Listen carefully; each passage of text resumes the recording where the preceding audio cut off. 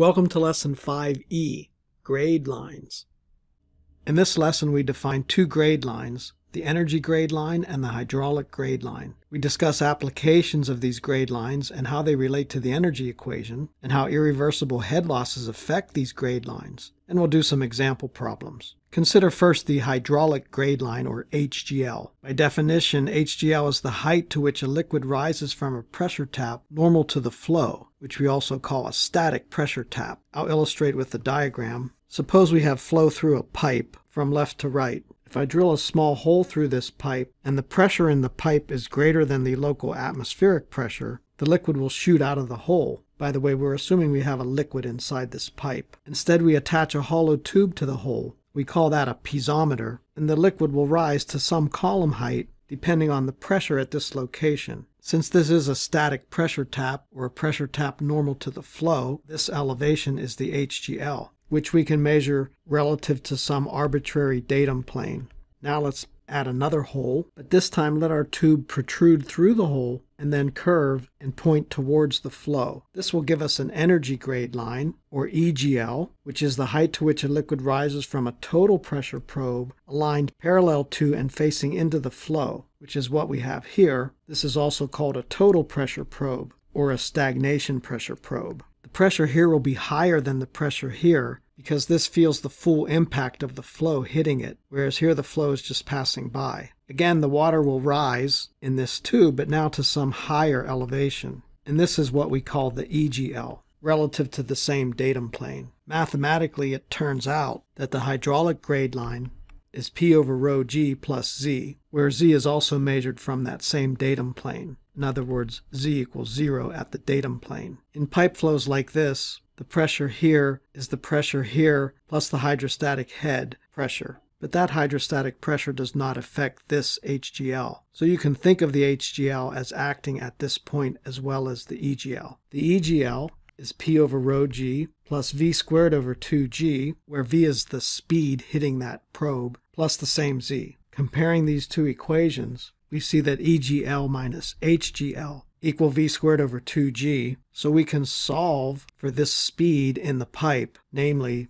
v equal the square root of the quantity 2g times EGL minus HGL. So this is a simple way to measure speed in a pipe. In all my examples, I'm assuming that this total pressure probe is in the center of the pipe, but you could actually move it up and down to get the speed at different locations. Now let's do an example. We have water flowing at 20 degrees C through a pipe. We have two static pressure taps or piezometers, and we have two total pressure probes at 1 and 2. So we call these distances HGL1, EGL1, HGL2, and EGL2. We want to calculate the water speed at locations 1 and 2 in units of meters per second. I'll call those speeds U1 and U2. Using our above equation, U1 is the square root of 2g times EGL1 minus HGL1. We plug in the numbers, 2g 8.56 centimeters minus 6.85 centimeters, and then a unity conversion factor, all under the square root. I get 0.57914 meters per second. To three digits then,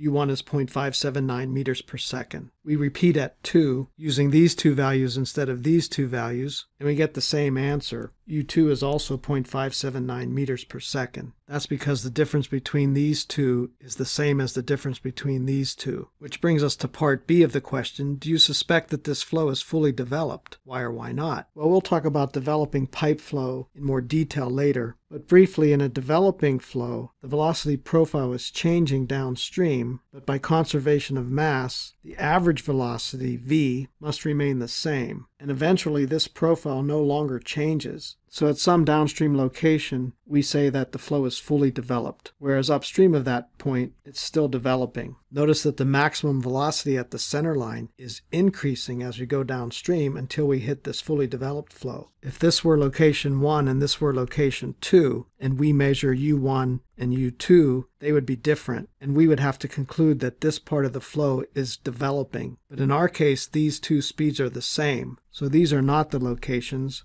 Rather, the two locations are more likely here, where u1 equal u2, which is the maximum velocity at the center line. So my answer to the question is yes. And why? The velocity profile is most likely not changing, although we're only measuring one point, the centerline point at each of these locations, and the flow is fully developed. Later on, we'll discuss how long this pipe has to be before the flow becomes fully developed. Next, I want to talk about the relationship of EGL to the head form of the energy equation. Suppose we have some flow through a duct that is converging something like this, with flow from left to right. Let me pick a control volume from inlet 1 to outlet 2. I choose a control volume that is a stream tube from location 1 to location 2. You can think of a stream tube as just a thick streamline. We have some average speed and some pressure at 1 and some average speed and pressure at 2. Since this is our control volume, we can write the energy equation between inlet and outlet 1 and 2 in head form. I'll write out the whole thing, but now we'll let the stream tube shrink to a streamline. In other words, it has no more thickness. Well, that means that we can't even calculate an alpha. In other words, alpha 1 and alpha 2 are 1. We have no pump in this control volume. We have no turbine. So we can rewrite the equation as just the remaining terms. So this equation holds along a streamline in any kind of a duct or pipe flow where there's no pumps or turbines. But this grouping of terms is EGL1, and this grouping is EGL2. And this term, as you recall, is the irreversible head losses. By the way, this grouping of terms can also be called the total head or the Bernoulli head in reference to the Bernoulli equation that we'll talk about in the next lesson. So this equation simplifies to EGL1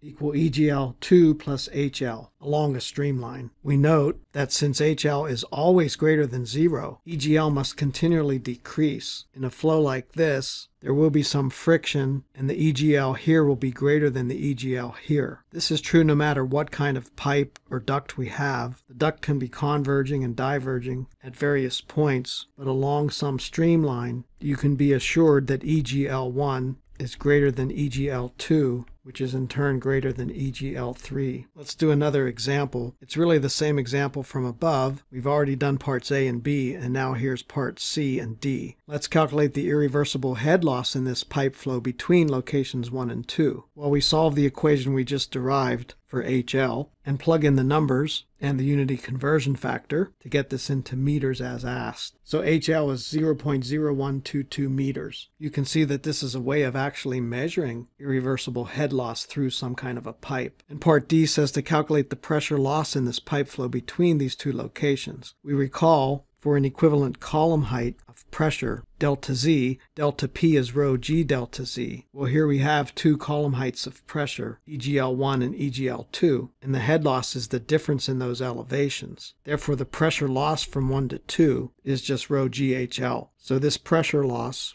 is the density of water at 20 degrees C, G, and HL, and then our usual unity conversion factors. And my final result is 119 pascals to three digits.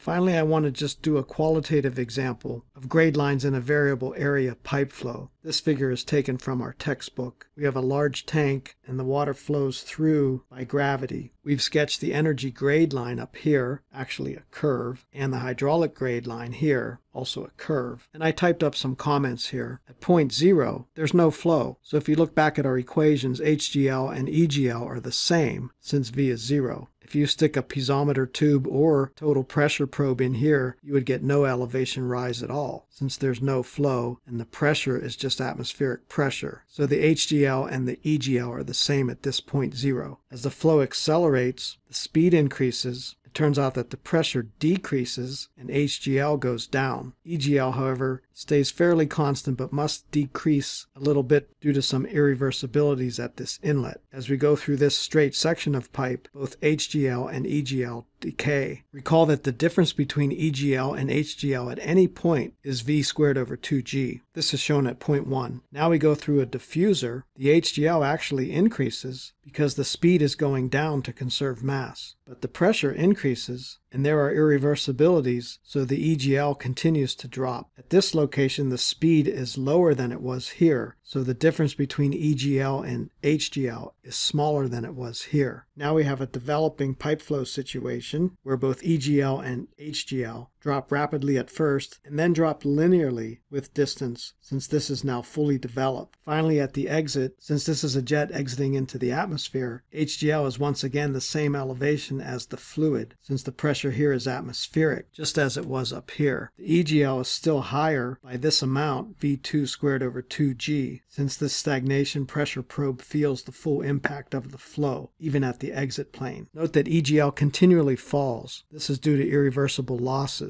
HGL, on the other hand, can rise or fall. We see it falling and then rising and then falling again. Overall, however, it also falls. In fact, HGL can never rise above EGL since EGL has that extra velocity term. Hopefully this helps you understand that irreversibilities cause both EGL and HGL to fall as we go through this pipe system. HGL can temporarily rise, but it still has to fall overall. In fact, the only way that EGL can rise is if you add some energy to the fluid for example by a pump. In this case, the EGL will continuously fall and then get a boost from the pump and then continually fall again. HGL will also fall parallel to EGL, will rise through the pump, and then fall again. At any location, the difference between the EGL and the HGL is v squared over 2g. This is true both upstream and downstream of the pump. Let's call location 1 just upstream of the pump and location 2 just downstream of the pump. You can go back to our head form of the energy equation with the pump term and show that EGL2 equal EGL1 plus H pump U minus HL, which is the head loss between these two locations, not counting pump inefficiencies as per our convention.